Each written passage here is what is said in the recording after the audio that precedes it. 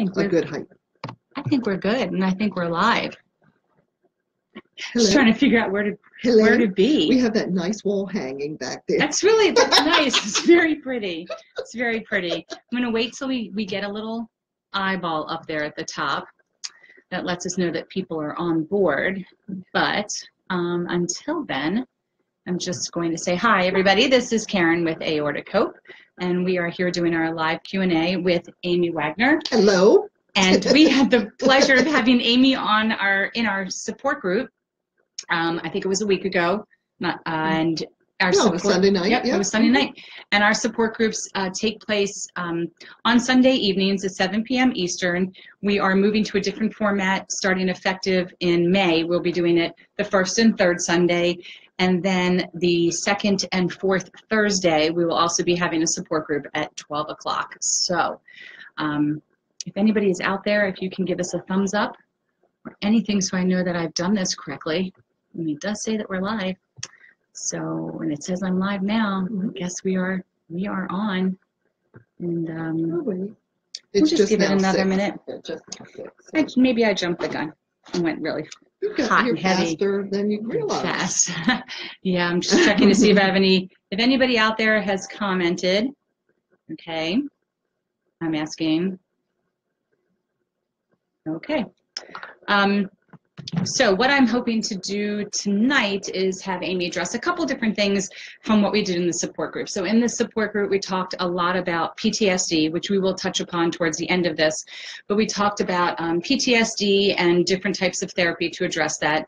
And I think whether or not you had an emergent situation, just physical trauma of any type, even if it's planned surgery, um, could create a degree of, of um, stress and anxiety. But we will get to that later.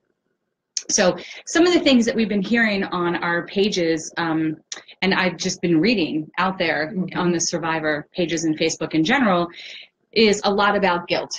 It seems that that seems to be a topic recently. People feeling um, guilty for having survived, people feeling guilty that they've created possibly a hardship on their loved one, um, that they've had changes for their family, guilty that their kids may be affected.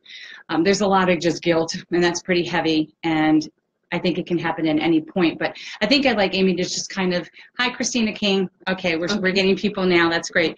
So I think I'd like to just have a start with the concept of what happens to us emotionally um, when we experience something physical, whether it was a planned surgery or it was an unplanned surgery. So let's talk about it from the patient's perspective, Mhm. um, and then maybe we can flip it for the caregiver's perspective, what they might go through, and then we'll lead into guilt. So I'm going to let you take the take the floor. Okay, thank you. um, so thank you again for having me back. It's so wonderful. And I do want to say, you know, I welcome anyone's questions. I don't want this to take pla- um, be in place of therapy, but let's have a good discussion about what happens.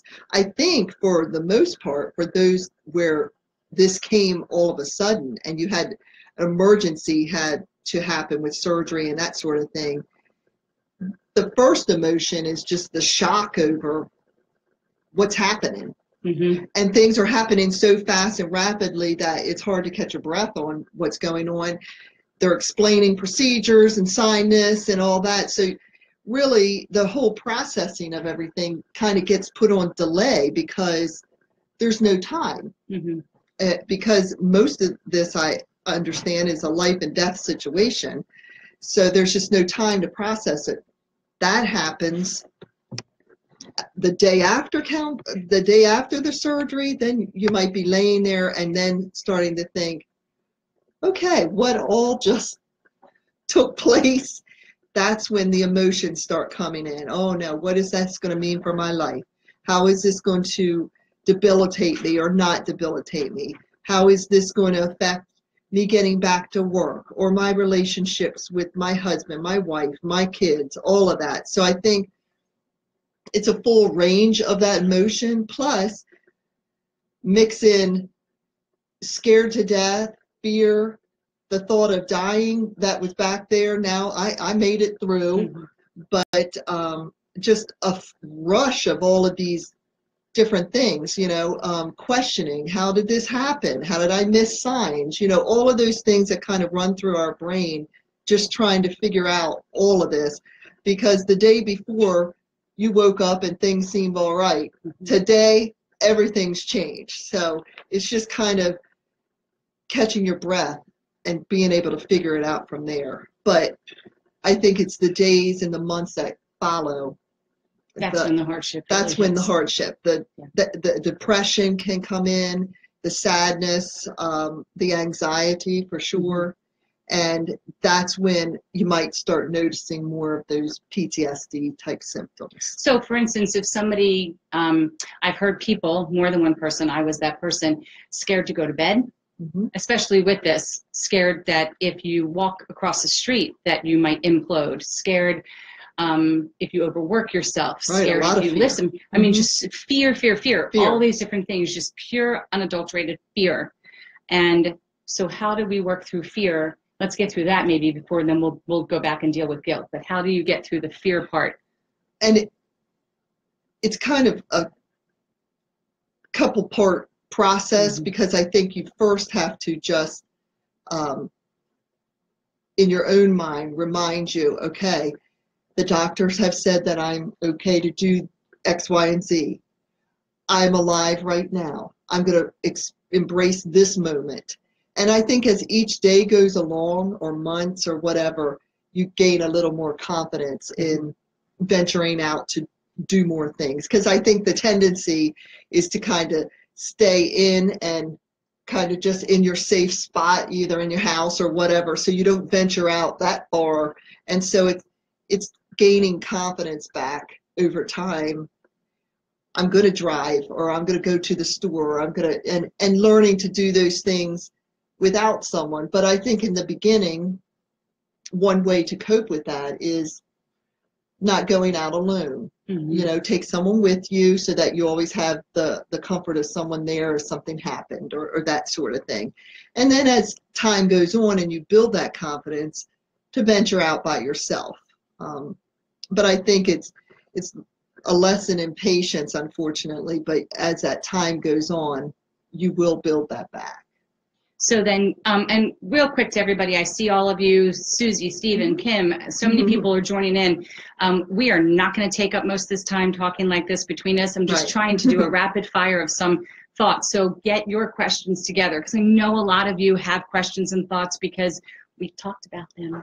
Especially over the last couple weeks, there's something in the air. There's a lot of people that are feeling a lot of emotion. So get your thoughts together, and in just a few moments, we will open it up to you to just start hitting us with some questions, and we will try to address them as best as we can. But one of the things we were just mentioning a minute ago is guilt. And I know so many of you feel it the survivor guilt, the guilt for the changes in your life, the guilt that your partner you know needs to take on more responsibility, the guilt that you're not the same person you were before this event happened. So, that's how do we deal with the nasty guilt? I think guilt comes from all kinds of sources too, and really asking yourself what where is that coming from? Is that because you are you were so used to being the caregiver for everybody else and now you can't fulfill that role? Is that's what fueling this? Mhm. Or is it because um, you had a falling out with someone prior to this happening and you didn't have an opportunity to get that worked out and now you feel guilty that you did that. Because what if something had happened and you wouldn't have been able to resolve that? So i think really kind of asking yourself the questions like why do i why am i feeling guilty? Because guilt usually comes from feeling like you've done something wrong Mhm. and your conscience is telling you I did something wrong, but it's kind of reframing that in your mind and saying, you know, I didn't ask to get ill this way and I didn't do this on purpose to myself. So I didn't plan any of this. And even though it has changed your life and, and those around you, um, it's not something you did on purpose where your conscience is getting the best of you because you know but um, i think it's important to have these discussions with your family and loved ones about how you're feeling and allow them that opportunity to also express their feelings about it yeah I am taking on more responsibilities, but, but I do that, you know, Mhm. give them that opportunity. I love you. That's why I'm helping you. You, yeah, you didn't plan this, but we're going to get through it together and that sort of thing. Um, So, real quick, we are having a couple questions pop in. Um, what are some of the techniques we can use to get past the feelings of why was I lucky, or an un- or the unlucky one who survived this um, major insult to our bodies and our minds? Okay, so this is kind of a glass half empty, half full type of thing, I guess. It's all in the perspective. Um, yeah, that you were, you see it as unlucky because now I have this condition that has changed my life, but lucky that you are here to say I'm a survivor and of this. Uh, I think some of the techniques just are your own way of thinking is one way how to change that around into a more positive just like i feel like um, karen may have been feeling this way too you know why me type of thing Mhm.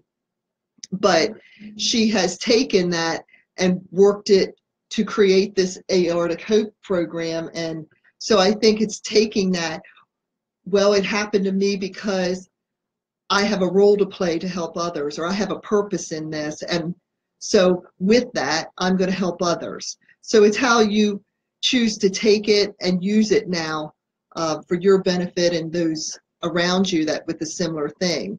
Uh, but again, I think it's allowing time to help heal those those thoughts and those emotions too. Um, I mean, some of the things that I, I've heard people say, why me? Well, why not me? I'm a badass and I can take it. Well, you know what? I don't really agree to that. I don't subscribe to that. I really didn't want this.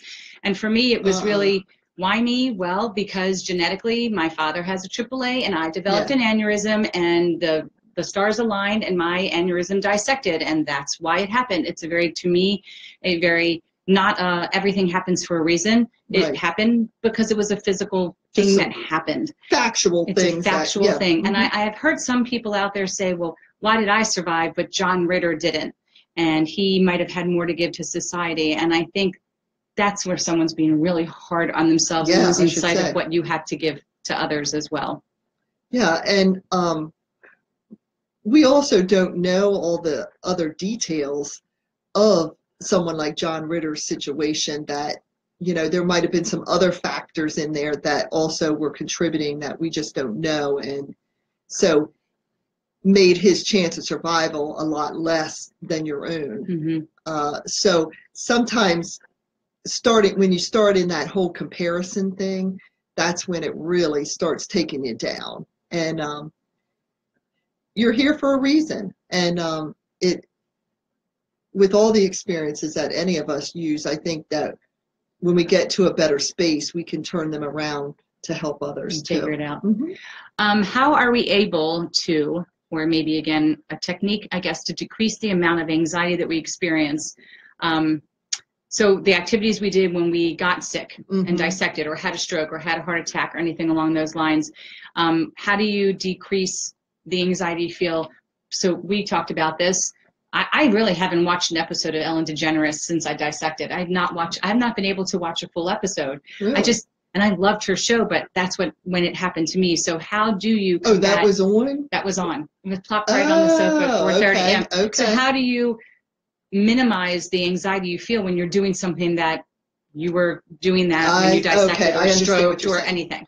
because i see that as like ellen degeneres show as a trigger for you Yeah, that's So, what they mean. yeah Triggers. so Mhm. identifying those triggers uh, some of t- some of the time being able to even if you have others there with you so for example if you wanted to get back to watching ellen have some support with you Mhm. while you do that so you can create a new memory back with that goes in with that whole Right. EMDR. so trying to memory. create a new association back again that can be a more positive thing. So um, if you took walks every day and this happened while you were on a walk, getting back to a different association with that. Go to a park with some friends and do a, walk again so that you can see it's a positive thing Mhm. that it just happened to be that was what was going on at the time. hmm Um,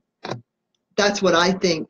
Sometimes they call it like uh, exposure treatment, where you expose yourself again to that triggering event to try to rework that into a positive association.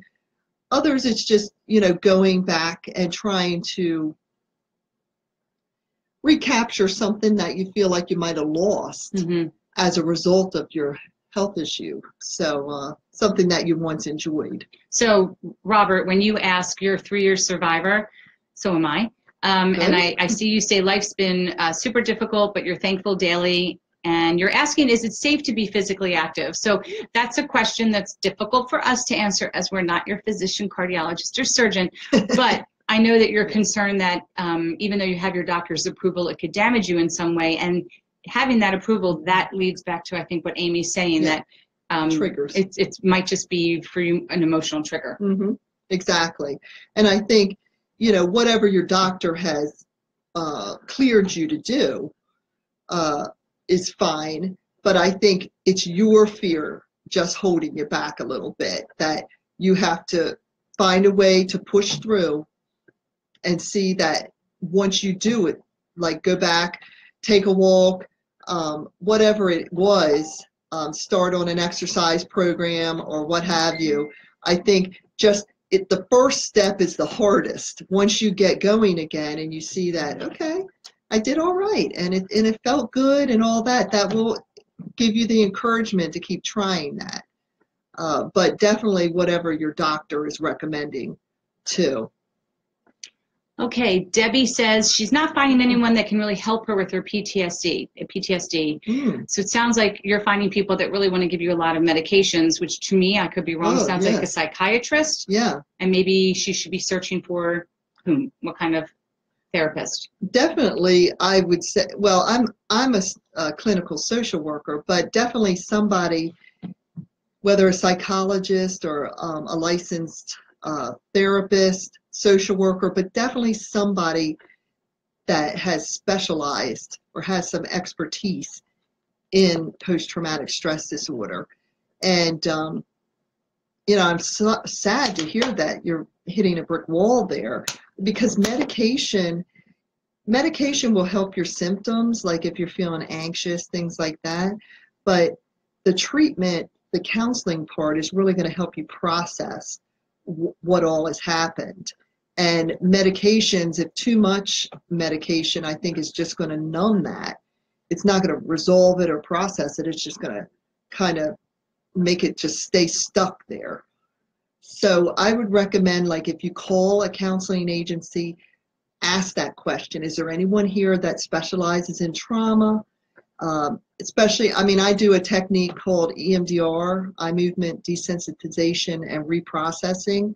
So i do get people that call and actually ask if anyone there does that Mhm. technique. Uh, so something of that sort for sure You might also want to contact, if you have insurance, contact Yeah. your insurance Mhm. agency to ask them uh, for names of psychologists or social workers, Right. Mm-hmm. clinical so- social workers versus the psychiatrists, which are usually the ones that Just the dispense the medications. And when we become providers with insurance companies, we mostly all of us have filled out profiles of things that we specialize in. So they should be able to tell you and help you find someone that uh, does. Kim, any thoughts on hypnotherapy? Oh, I'd like to know a little more about that, actually, I actually um, but let's not do it tonight. Not tonight. I actually, um, hip, hypnosis has been a thing that I've been interested in for several years.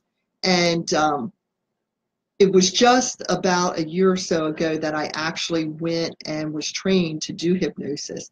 And I felt, found it absolutely fascinating. And also as another adjunct type of treatment for trauma. It's um, just another relaxed state um, to help someone process through a traumatic memory.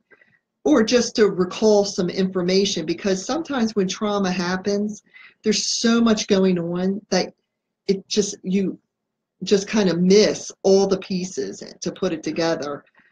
The um one situation though with hypnosis is the barrier with the court system. So Mhm. if if there's anything involved with that, uh, they won't allow hypnosis, but they'll allow EMDR. But the um, the clients that I've worked with so far with hypnosis, it's been very interesting. And and I even thought, you know, I didn't even know if I could be hypnotized until I took this training, and it, it was really interesting. So do you think, because I know you've done EMDR yourself Mhm, and now you've been yes. hypnotized yourself, I- which, which one do you think it would be more effective in dealing with physical trauma or trauma from physical ailment? I think um, they both can be effective. Uh, I find that EMDR can move things along just a little bit faster Mhm. because you're you're uh, working with your brain's natural processing through rapid eye movement. Uh, but I think you can find it effective resolution to things with either one. Uh, there, there aren't as many around that I know. I mean, unless people advertise hypnosis, it's usually just something that a therapist has learned, and not they don't necessarily advertise that. So if you called up and said, "Is there anyone there that does hypnosis?" They may not always know that. A true hypnotherapist does advertise Mhm. that, but there's a lot of people that know preliminary stuff about hypnosis and they just kind of integrate that into the therapy session. Melinda, you feel so nervous when you exercise, your heart races and you become anxious. So heart racing is very normal. Just Mhm. want you to know. Your cardiologist says everything is normal, but you can't seem to get back into the routine and you feel like you're going to damage things. And you say it's hard to articulate. You articulated that beautifully. it's the way everybody feels. Everybody Oh, feels yeah. the same way. Um, and I, I don't know if you've been to cardiac rehab, but if that's something that's been prescribed to you or if you can do it and it's covered with your insurance, it's such a great way to get back into exercise because they monitor you the whole time and they teach you about how the heart rate might go up with the blood pressure in the middle of exercising That's and then it naturally drops lower than it was before you started afterwards which is what you want your heart to do. And um, i think that goes back again to just triggers of oh my That gosh fear. is- it's all fear based Well, and especially because during exercise, we we naturally feel our heart beating and everything, and and so when you hear your heart beat go up, up, and your your pulse rate going up, that is a trigger to think, oh, now I'm you know Something something, could happen or whatever. But that's what naturally is supposed to happen when we exercise. Is our heart rate supposed to go up? Mhm. but there again, um, your cardiologist is saying that everything is normal and you can get started. I think a cardiac rehab program, even um, maybe like a physical therapist pr- could work Mhm. with you on some of those things as well. And um, but there again, it's it's the fear, that initial fear. But I think the first time you work through that and you can get started back on just a very low key routine, I I think you'll build that confidence back. And that is a good idea because you can more than likely get your cardiologist to write you a script for, phy- for physical therapy and they will take your blood pressure before, Mm-hmm. Yeah, during, and after, just like in cardiac rehab. And it's a good way to build your stamina and confidence. Mhm. Um, so another comment was made by Diane, and it's been t- nine years. I think it's you're going on 10 years almost if Oh, wow, wonderful. And she's been having like that 10 year itch. She's been getting flashbacks and um, Okay. doesn't know how to handle when those flat, well, that's again trigger based i'm sure something happens and next thing you know you're seeing and remembering things so how do you is handle the 10 flashbacks year, is that a marker? Uh, Or is it, or let is me it tell like, you one year two year three one year, year, every year's a marker it's amazing. But actually i think once you get past those first three to five then it's it's a little bit more smooth sailing they say but um, those first few are a little bit more precarious but how do you handle flashbacks? Because i've been getting them too. Flashbacks uh, can either just completely catch you off guard when they when they come up. Oh sorry one second knock at the door Did you find keys? somebody's asking a question in the office I'm just going to entertain you for just a split second. We're just looking for somebody's keys that was in here for, um, yeah, things happen. That's live. Okay. And three, two, one. Flashbacks. back. Okay. Uh, So that most of the time, that's why flashbacks catch you off guard. And I think first, knowing what a flashback is. So if it happens to you, you're not so surprised. You can say, oh, okay, that's a flashback. So the definition of a flashback is just something that has triggered you to have your brain respond by bringing a memory to the conscious level. And sometimes it may be something that you had totally forgotten and it just has been brought back up, or it may be something that you didn't even remember to begin with. Uh, it's important to just take some time, deep breathe, slow yourself down, acknowledge what happened. And I always recommend journaling that. Write it down because the the emotion that comes up with it could make you forget parts. So I recommend, you know, just grab a piece of paper or something and jot that down, journal that, and then definitely take that to your therapist or talk it out with a very close confidant. I, I think it's important that when you've gone through something like this to have a, a confidant or a point person that you can go to to kind of just vent it or discuss it. They don't need to necessarily say a whole lot, but just have that person uh, set up that you can talk with. Okay, next question. Um, uh, okay, this might be posed to other survivors as well. So those of you that are with us right now um, who have had a traumatic dissection, do you tend to take your PTSD seriously?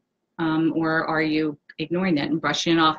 Uh, somebody says that they were a staunch PTSD denier for years and have finally received EMDR treatment with good results and strongly recommend pursuing treatment for folks who might also think they're impervious to the psychological effects of trauma. I'm another person, and I don't know who that is. I don't know if Meg is on tonight. I know that she's on a trail hiking, but she did EMDR as well. Uh-huh, Um, uh-huh. And obviously, this is how I met Amy because I specifically was told about her from another therapist that was doing just cognitive therapy with me.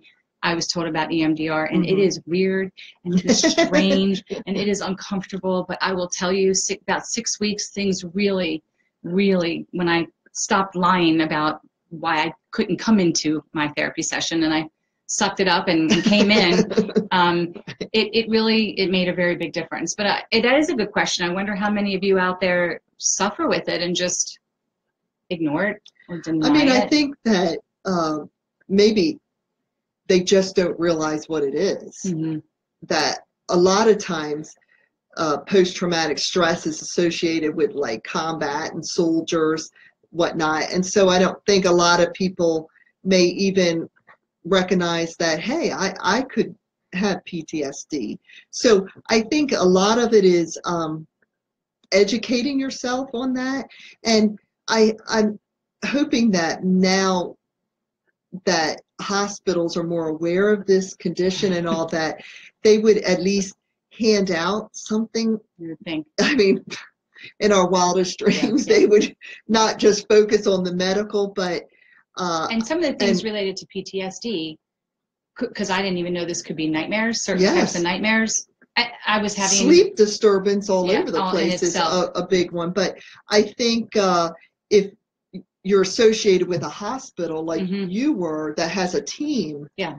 If a if a social worker or a therapist was on that team, they would be able to provide the patient with information on this is what is normal emotional responses to a situation like this and give you that that educational material so you won't be caught off guard. You can say oh yeah they told me about this and this is a flashback. This is what i do. And i always you know try to include that in my when i first meet with a client Mhm. to kind of educate them on the terms so that if because once you do emdr it's not uncommon for other things to come up too that you had totally forgot about things that you thought you had dealt with and so you never know what next layer of that onion could peel off and catch you by surprise Yeah. so i think it's it's good to try to educate yourself even if the hospital isn't really being Mhm. proactive on that part And then there's the whole, uh, uh, I see Christina saying she recognizes it, but she's been trying to handle it on her own and it's not working out too well. Um, whereas Dr. Phil would say, how's that been working for you so far? Um, so one of the things I also read is um, that has to do with triggers would be ambulance, Oh, an yeah. ambulance siren, which that's a big one for me as well Mhm. um, or at least it was. It's definitely so much better. But helicopters, that's a big one for me still. Um, and when I go just generally into a hospital setting, even a colonoscopy room, if they have lights overhead, it's weird. If there's lights overhead, I hear heart machine beepers beeping even though they're not oh, there. yeah, yeah, I smell always alcohol. So different things trigger different things, but I know one of the things I took away from meeting with you was just be honest and tell people around me. Yeah. I have PTSD and please don't move so fast because I might Right. end up under the bed. Um, Be, know, your, be your own you advocate. just really need to. yeah, just you've got to be your own advocate and say, Mhm. you know, because they're so, let's go, let's go, let's get this done. But I think that you have to let them know ahead of time. You know, I have difficulty. Uh, I have PTSD, you know, and I have difficulty just smelling an alcohol swab or just looking at a needle Mm. or just being here in this room just the smell of everything in here or the sounds and and let them know that because there's a definite line between mental medical and the mental health and the two disciplines don't always think on those terms. I think because i've worked with medical so much Mhm. that i'm i'm trying to be more aware and cognizant of it but uh not always the case in in the doctor's office. So and keeping in mind that the triggers come from all five of your senses. So it can be the touch of something the smell the the hearing of something uh the sight of something and uh what i leave out the um Sound. sound yeah sound of something so So we can't do any EMDR right now or No. hypnotherapy. But one of the things we have talked about is maybe you can show or explain. And I don't know, have you ever done, t- you do tapping? i do tapping So maybe we can just explain that as a tool for grounding and then explain how people can ground using the mm-hmm. other senses because that's been I've been doing that for years without knowing I was doing it. I would just do touch and just rub right here right to decompress something, but now I try to purposely smell mint. I try to look for it and next thing you know I forgot that I'm stressed out. So if you can explain grounding. and and I look at grounding as something that you use all five senses to do, and I I incorporate that with a technique called finding your safe place, and it's just something that you can envision in your mind that thinking about that just puts you at a very calm state, a very peaceful, safe feeling state. So. Uh, and in that, you know, if say you pick the beach or something, focus on the smell of the french fries that might be coming from the boardwalk, the the seagulls making the sounds in the sky, the listening to the waves going in and out, feeling the sand on your feet, you know, all of those types of things that can kind of just help you relax and be in that moment. And I just I call that your safe place. And I think when you're feeling anxious or having a flashback or something of that sort, go to your safe place. Now, one of the things with EMDR, because I don't want you processing stuff on your own without the professional there, but one of the things I call the butterfly, I just cross my arms like this and I just lightly tap on each of my shoulders. And that is getting your brain to go from one side to the other called bilateral brain stimulation and that works with your regular rapid eye movement. So if you think of your safe place and you just do the little taps, believe it or not, just that you can tap each knee, uh, whatever works for you there. But uh, I like the the butterfly because I feel like I'm giving myself a hug too when I'm doing that, and Mhm. it's even more comforting. But uh, that's just a quick little technique that I show my clients just when they're outside of therapy they can do for themselves. Um, another technique, and I, I was doing this with my son when he was having some a lot of anxiety when he was Mhm. younger. Uh, before we would go to bed, the tensing and relaxing. Yeah.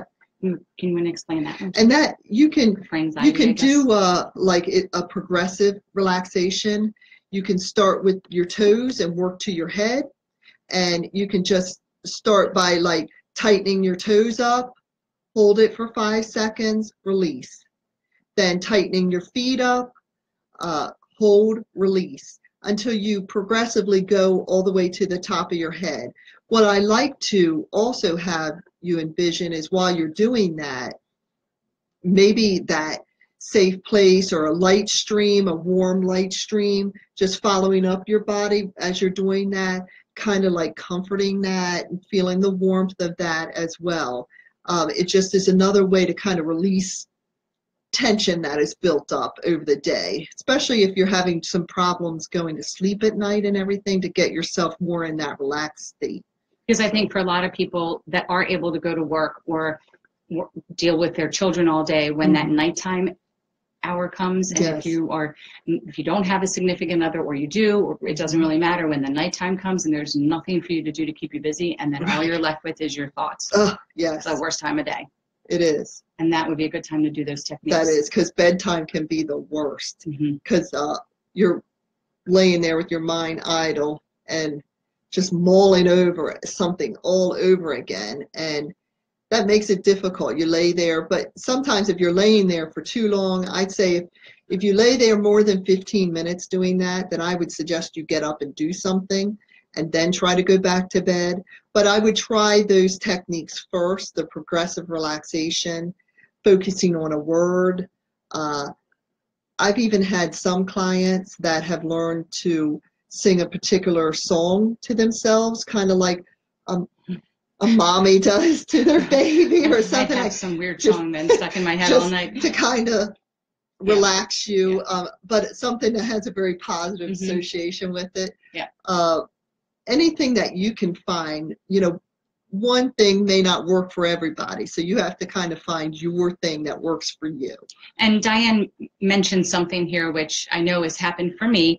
Um, how how do you handle it when all of a sudden you're having that PTSD moment for whatever reason in front of a group of people who already think you're fine, you're healed, everything's good, and then you flip out. I, I was at a Billy Joel concert, which was outdoor stadium, and a helicopter flew overhead Oh, to wow. Maryland shock Mhm. trauma. Mhm. And in my favorite song was on too. He was playing my favorite song, but I don't remember any of that. All I remember is I, I swear I was in. A, I could picture the room of this shock trauma, like the highest level emergency place you would go here in Maryland, and I could. I was hearing things, smelling things, everything, and um, you know, my I just shrunk into a ball. And my husband asked me if I was okay, and I just put my hand up. I just needed Mhm. to just I was like tapping my feet. I'm like rubbing my head. I'm trying to feel the cold air. Um, my one brain is part of my brain is like it's your favorite song. You're missing it, but sometimes it's hard. It's hard to Yeah, it calm it, is. down. And what do you do when you're in And front of people? and it's not always something that you can just snap out of that fast because i think sometimes if you're with someone and they don't understand what's going on they want to try to quickly get you to you know snap out of it and it's okay and all that but i think it's important that you just come up with a phrase to alert that person like i just need a moment or give me a minute those Mhm. kinds of things so that they know that's your communication with them just to give you you know this period of time you're going to work it through Mhm. i think a lot of times just like when we have an anxiety attack a lot of times people may not notice that it's going on Mhm. unless there's other really more outward things so sometimes you might think that people are really wondering what's but you're hiding it better than you Yeah. realize but um, i think if you have a, a phrase or a way to communicate with that person like you know i just give me a timeout Just here and yeah and um, most of the time you can work through a flashback if it is something you've remembered from before Mhm. if it's something totally out of the blue that you totally forgotten about or had been repressed or something like that i mean you may need to take a moment and remove yourself Mhm. go to a safer place go to the bathroom or go somewhere where away from all of that that's going on Yeah. um, you may need to go sit in your car you just sometimes don't know when it might happen but i think you just go to the safest place that you feel safe. Like if you're in a in a grocery store or something like that, go back out to your car. I would go to the pastries. Let me go eat some sugar. Eat. um, I do. There's two things I really want to talk about. Um, I've been seeing on here that um, hi Jamie that Kim has a lot of questions. So Kim, you take your time. You write your questions. We have at least another 10, 15 minutes. We're gonna go. So take your time, write your questions, and if if we can't get to them because you're overwhelmed. Take some time tonight or tomorrow, write them, and I will have Amy answer Yeah, them oh, for you. We can do an definitely, email with that. Yeah. But there's there's there's two things. Um, one, no, one. Wait a minute. uh, oh, okay. I remember one. Gosh, I'm not going to remember the second one. Competition. I think a lot of us feel when we hear other people's stories online, we feel ashamed and um, embarrassed that we ever felt bad about ourselves. And I know that this. Oh, I remember the second one. Just say Okay. what if. Okay. Um, um, and I and I do this sometimes myself.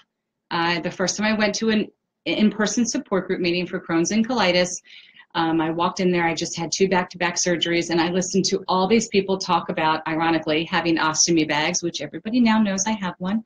Um, listening to all these stories, and I was hysterically crying. And I told them my story of needing back-to-back surgery because of an abscess, and they started crying. And I'm like, "Why are you crying?" And they said, how how are you even functioning having two surgeries oh my gosh we feel so bad and i said you have bags I, how are you functioning was- Oh you, you hear somebody else's story Yeah. and and i think it's so irrational to feel bad for yourself because it was really bad for me then and not taking away anybody Mhm. else's bad but bad for me is not the same bad for you so That's right. Exactly. how do you so many people out here are experiencing this and how do you because that is very rationalize it. subjective. Yeah. And there again, we can't get into that mode of comparing ourselves to others. And and because I think, like you're saying, you were minimizing Mhm. what you went through Myself. because yeah, and and really um with that minimizing may even have started this guilt thing like what Yeah. am i sitting here complaining about look Yeah, at them they you know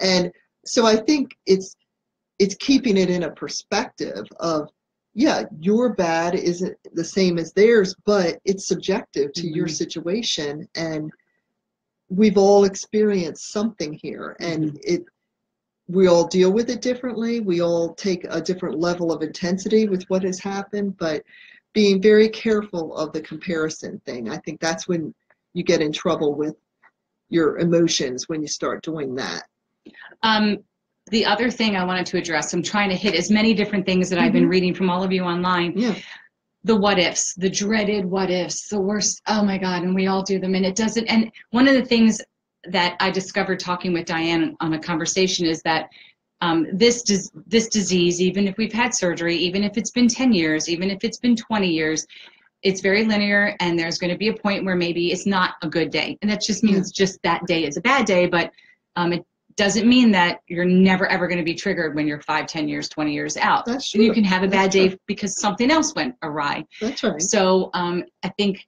the worst I heard was the what ifs. What if, and we talked about this, the Mhm. shoe, the next shoe is going to drop for me because it's been, you know, 25 years of my life that I've had chronic situations occur. Mhm. And okay, so now if everything's fixed, well, now what's going to happen? I'm so getting- you're always anticipating what the is it? next thing the What if? next thing what if this happens? What if I get my scan in two weeks and something's wrong? What if my echo shows my aortic valve is worse? then what if But yeah, but that sucks. I know. What? That's not. what are you gonna do that means I don't have control, and I don't have control Right, over it, and that's what, it is. leads back That's down to. That's what it is. Vulnerability.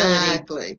Is we I think an experience like this really ups the need for control. Yeah. Because when it happened, nothing went in control. Right. Everything was out of control that you felt. Yeah. But the medical end of it felt like, okay, we're going to take care of this. We're going to do Mm-hmm. this, this, and this, and take get it back into control. But you felt that loss of. So I think with any trauma, we all try. That's a, a normal thing is to try to look at ways that we can control as much as possible. Mhm. And a lot of it depends too on what you were like prior to this is going to enter into that too. So if you were someone that tended to be a little more anxious or controlling prior to, that's just going to be ramped up even more.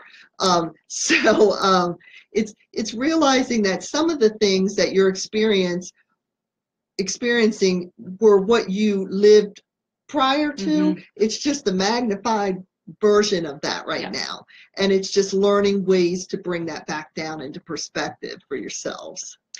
Um, and and last but not least, until Mm-hmm. we get a few more questions, um, I know um, the majority of us on here tend to be patients or survivors, but there are caregivers out Mhm. there, and if they're not all watching tonight, go home, tell your loved ones they can come back and watch this, and maybe Yeah. gain another perspective of how you feel. But let's talk about a little bit of how we can help caregivers, because I'm sure they, at some point, as much as they love us, must experience the compassion fatigue Yes, yes. must feel resentful. I mean, I've had these conversations with my husband, who's wonderful, but I'm like, I know you've got to be resentful. This isn't what you signed up for, and but we're married. I love you, but it isn't what you signed up for, and I know I scared you. And he's he's always scared. yes. He's you know he's angry. He goes through the same process of Well, he had a secondary Yeah. traumatization. You Right, know, yeah. the person in your life that experienced it with you also was traumatized, and maybe they don't realize that, or it hasn't really been explained to them like that. And I always offer, you know, if any family members want to come in and talk about that, we can, and talk about it with the client and really explain what secondary trauma is. But um, I think the whole compassion fatigue is it may be that you know they're getting tired of all that but i think it's just their need too to try to get things back in as much of a normal if you can say that you know that it was prior to all of that. And i think that's just their need to try to settle it in their minds that things are okay and it's it's going to be all right and things are better now and those sort of things. But i think that just like it's it's great to have this aortic hope support group. There needs to be some type of support network for the caregivers too. And i, I know some hospitals and places offer caregiver support groups. Um, sometimes it might be associated with caring for any type of um, family member but i think the the issues are very similar. And so i encourage them to also seek some help and support in that way as well. And Jamie just wrote, she's a Mm-hmm. caregiver, and PTSD is real for caregivers too. And I'm sure it Mhm. is. And I'm sure there's a degree That's of it. longing to have control as well. So that's why many caregivers may be Yeah. like, but you're fine, you're fine, don't worry about this, don't worry about that. Well, and I think people that don't understand the depth of trauma and PTSD, Mhm, they they think by a certain period of time you should be over it. mhm. Just like when someone has experienced the loss of a loved one and they're getting into year two or year three and they're still grieving that person, that's that's subjective as well. But there's a lot of people that say, "Wow, that's been like three years. You're not you're not over that yet, or you haven't worked." Well, it's it's different for everybody, and so I think sometimes a caregiver tends to get to a point where they can start minimizing it. Like, oh, it's been five years. Mhm. You should be, I think, better than you realize, or why are you still thinking that way? And that pours more guilt on and Right. things like that. And so I it's do, just this but I do, vicious and I do cycle think that some on. of it is it's not even so much that they don't understand, because I'm sure a lot don't, but I think a lot of it is too, they just want us to move past because Yes. they're scared also. And I, don't, I saw my sister was on earlier commenting on my jazz hands in our brief intermission. Um, and one of the things we had said to each other is we had often talked about the idea of when, if my parents pass away. We don't believe that it ever will happen. But when they pass away, how we're going to handle and get through that. We never talked about what life was going to look like if one of us passed away. Like it wasn't even on the table until Okay. this happened. And I can't even imagine what I, what I, okay, I almost said what I did to her, but I didn't do anything to her. I can't even imagine what this episode might have been like for her, um, you know, to go through. I mean, That's it's right. horrible when I know she's in pain because she has a chronic condition. It, it kills me, but I can't imagine what it must have been like to know that I might not have, have survived surgery, even though I did. as a sibling, you're As a saying. sibling, yeah. yeah. It's not something you talk about. Well, and I think about too, um, you had a brief, but had a short opportunity to talk with each of your family members Mhm. and say goodbye. I think about the the conversation you had with your son. Yeah. Um,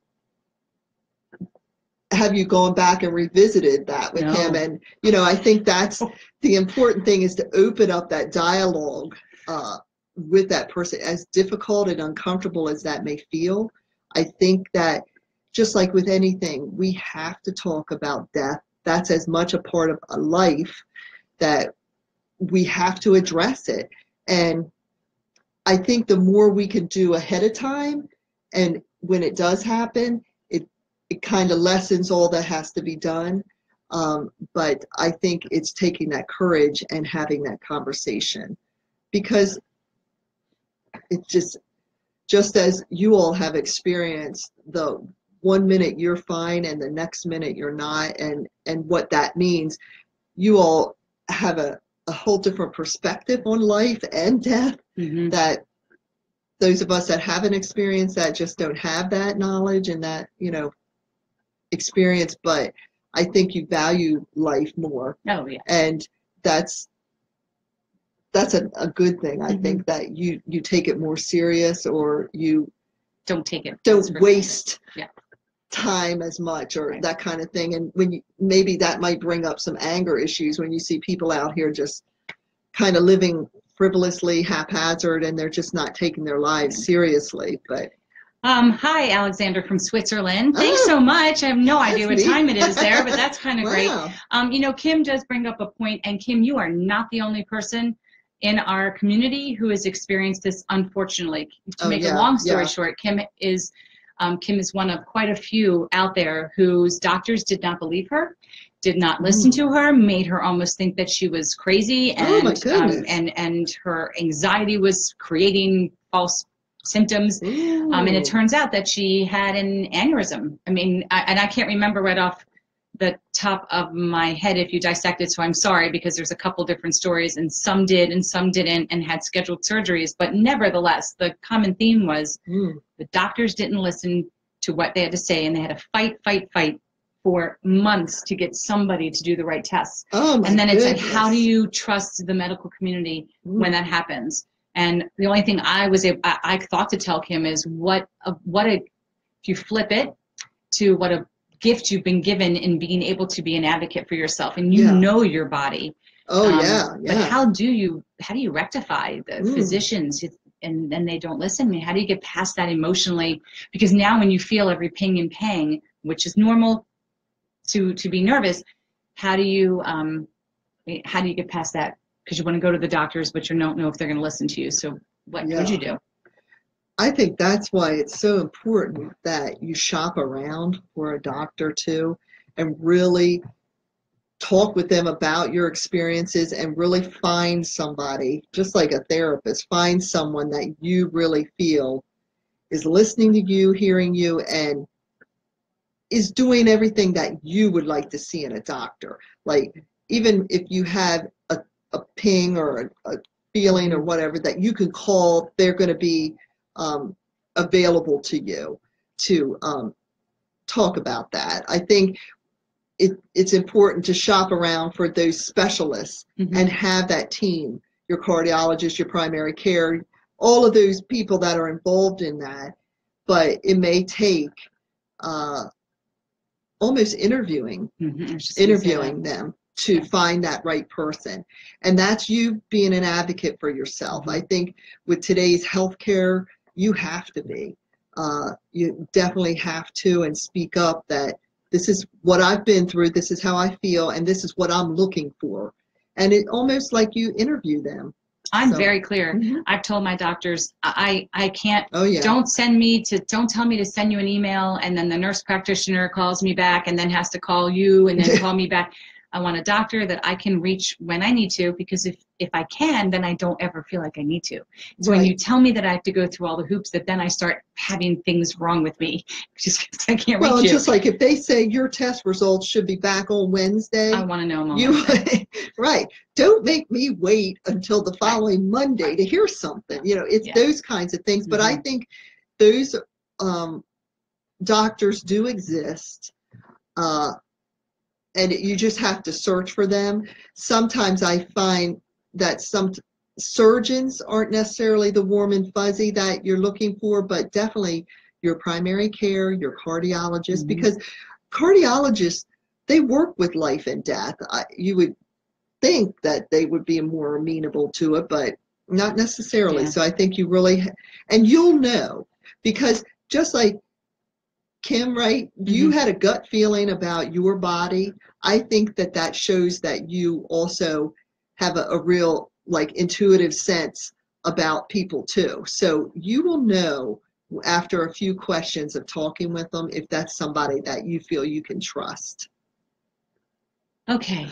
Well, Kim, as far as the meds to calm you, hmm that's where having the the the the tools and talking with a therapist if you don't want to do all the medication route would Yeah. really come because I think you had mentioned you were getting a lot of meds from a psychiatrist and um, and you really might want to try more of the cognitive type of. Yeah, and there may be some like natural things. Mhm. I've really over the last few years started really, you know, looking into essential oils and different things. So there may be some more natural things that you could try that would be more helpful as well. With and we will do a live event on that soon. I was just we did that last year. We will have one soon again for everybody that's new. But being that it is 6:55, well, time flies. flew by. This was so great. Sure All of does. you guys had such wonderful questions. If um if you have a last second question, I'm giving you a minute or two to post it real quick. Um, and if we don't get to your questions, for those of you that are viewing this after this live event, please post your questions and um, the team at Aortic Hope will diligently try to capture all of those tomorrow and get them to Amy, and we will try to get them answered for you. We will probably post those in our private forum. So if you have not asked to join that yet, please do so. I think it's a more appropriate place to post uh, the answers to those specific questions. Okay. Um, and then before we wrap up, again, uh, we will be ho- hosting um, our Sunday support group, not this Sunday and not next Sunday because of the holidays, but we will pick it back up again. I believe it's April 8th.